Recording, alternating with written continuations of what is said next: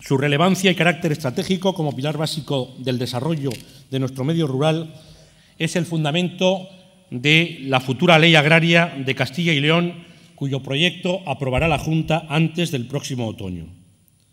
Una norma que desde la consulta con todos los agentes del sector ha de prepararnos para afrontar los nuevos retos de un mercado cada vez más liberalizado y global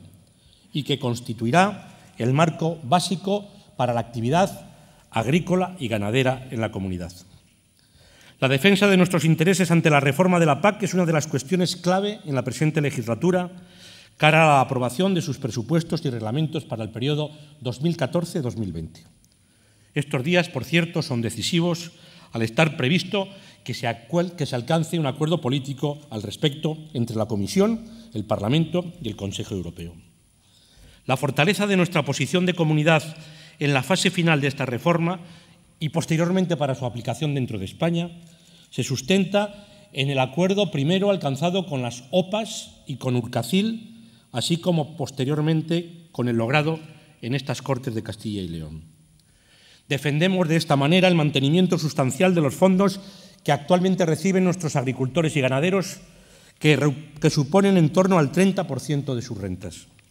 El apoyo a las personas que realmente ejercen una actividad agraria directa en el campo.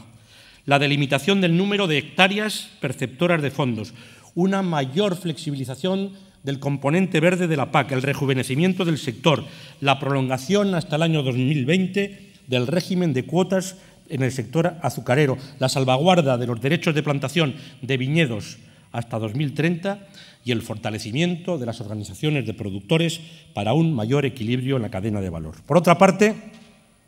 estamos empeñados en la completa ejecución del actual Programa de Desarrollo Rural de Castilla y León 2007-2013, hoy ya ejecutado al 70% del total previsto. Se trata de asegurar, en todo caso, las aportaciones puntuales de la Junta y del Gobierno de la Nación para su cofinanciación, de manera que no se pierda en el horizonte del año 2015 ni uno solo de los 723 millones de euros de FEADER comprometidos por Europa para el mismo. Dentro de las distintas líneas de dicho PDR, quiero destacar el dato de incorporación de jóvenes a la actividad agraria y agroindustrial en 2012, 1.007, que duplica el dato de 2011 y que supone el 25% de toda España.